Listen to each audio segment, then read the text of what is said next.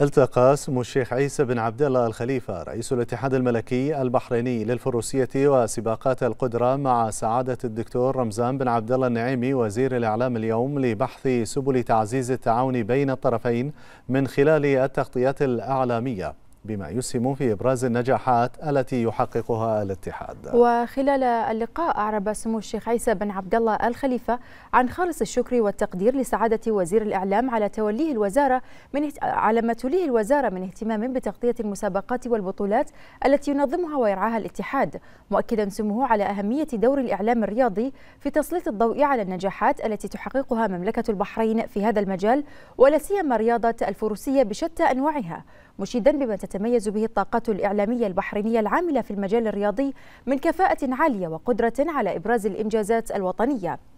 من جانبه أشاد سعادة وزير الإعلام بجهود الاتحاد الملكي البحريني للفروسية وسباقات القدرة في الارتقاء بالرياضة الفروسية وهو ما أثمر في تحقيق العديد من الإنجازات المهمة على المستويين الإقليمي والدولي مشيرا إلى ما تمثله هذه الرياضة من أهمية في المجتمع باعتبارها جزءا أصيلا من التراث الوطني. متمنيا سعادته لسمو الشيخ عيسى بن عبد الله الخليفة والاتحاد الملكي البحريني للفروسية وسباقات القدرة تحقيق المزيد من النجاحات بما يسهم في رفع اسم مملكة البحرين عاليا في مختلف المحافل.